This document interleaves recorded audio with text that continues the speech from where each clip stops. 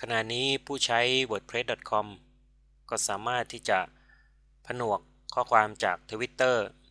ไปไว้ในบทความของตนเองได้อย่างง่ายดายแล้ว รูปแบบของการแทรกก็จะเป็นในลักษณะที่ปรากฏอยู่นี้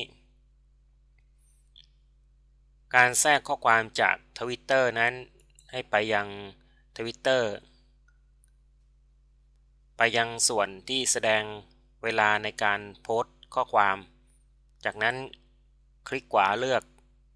คัดลอกที่อยู่ลิงก์ไปยังแดชบอร์ดของ wordpress.com จากนั้นเลือกไปที่เขียนเรื่องใหม่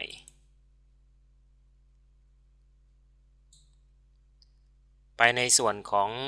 รูปแบบการเขียนแบบวิชวล ตั้งชื่อเรื่องที่ต้องการ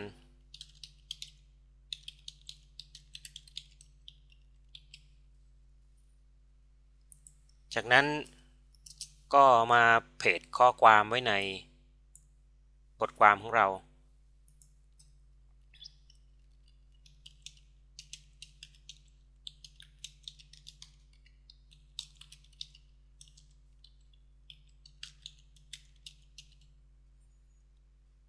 จากนั้นเมื่อ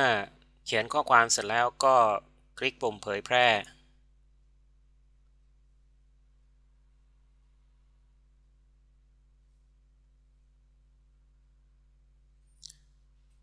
คลิกดูเรื่องนี้เพื่อทำการดูบทความที่เราได้โพสต์เอาไว้ หลังจากที่โพสต์ข้อความเสร็จแล้วก็จะเห็นได้ว่าเป็นการ แทรกข้อความในบทความของเราได้อย่างง่ายดายนี่ก็เป็น